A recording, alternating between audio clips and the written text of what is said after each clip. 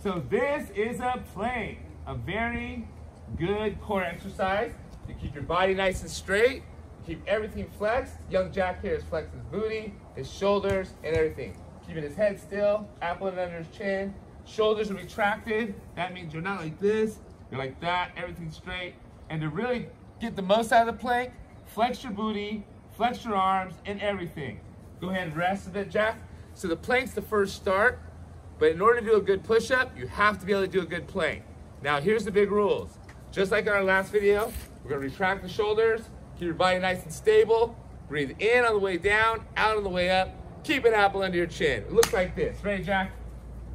So I'm gonna do a couple, Jack's gonna do a couple, and I'll show you what Jack's doing right. Ready?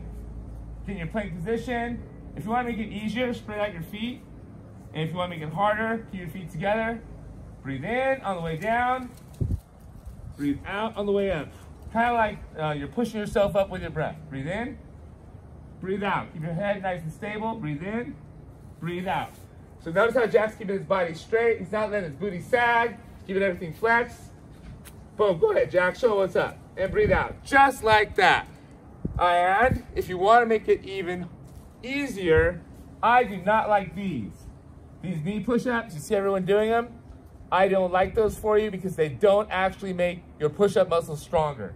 You're actually better off doing a flop push-up. Here's how that looks. You go here, and then you go all the way back up like that and flex again. Go here, all the way back up, flex again. So don't go down nice and slow though. I did those wrong. Reverse. Go down nice and slow. Ugh. And then get yourself back up.